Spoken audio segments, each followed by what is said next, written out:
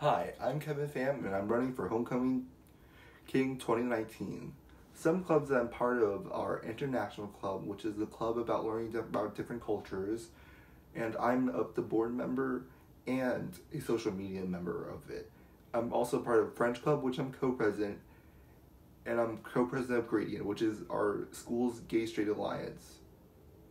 And other clubs I'm part of are Scholars Bowl, Constitution Bowl, National Honor Society, and also Junior Classical League. I'm going to be honest with half of you at this school and just say that probably most of you don't care about homecoming at all.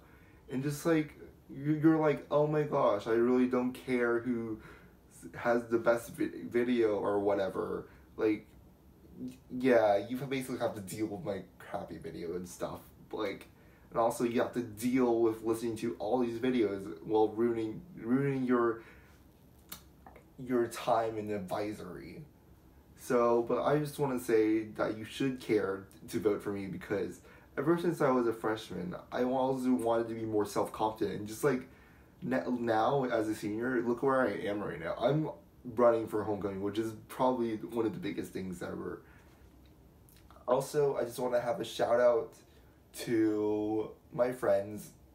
I love y'all. Y'all are amazing. I'm so glad to ha- be have you become part of my life. You know who you are. You know who you are.